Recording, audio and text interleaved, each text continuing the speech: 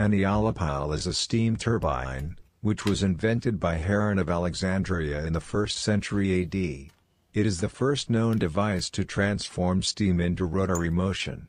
This device here in the video, is similar to the aeolipile.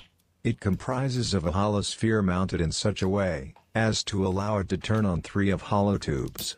These tubes provide steam to the sphere from a cauldron. When the water in the sphere heats up by the lamp below, it will produce steam, which then escapes through bent tubes projecting from the sphere in tangential directions making a circular flow possible, thus causing the sphere to revolve.